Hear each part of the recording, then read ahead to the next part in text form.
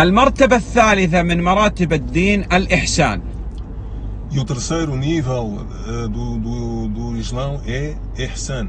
الإحسان ركن واحد E o Ihsan é apenas um nível, um, um pilar. أن تعبد الله رغبة حب وشوق فيما عند الله سبحانه وتعالى كما كان النبي صلى الله عليه وسلم يعبد الله حتى تتفطر قدماه وقد غفر له ما تقدم من ذنبه وما تأخر Então é adorar Allah através do desejo, do amor, da motivação, até ao ponto que o próprio profeta, apesar de ter os seus pecados passados e futuros perdoados, ele adorava a Deus de tal forma que os seus pés ficavam inchados. إذا لم نستطع الوصول إلى هذه المرتبة لا يمكن أن نخرج عن مرتبة الخوف المراقبة Então, se nós não conseguirmos chegar a este nível, então também não é possível conseguirmos adquirir o medo e, e a vigilância. الدليل على أركان الإسلام والإيمان والإحسان هو حديث جبريل عليه السلام E a evidência a respeito da fé, a respeito do Islão, a respeito do Ihsan, é o dito do eh, Gabriel.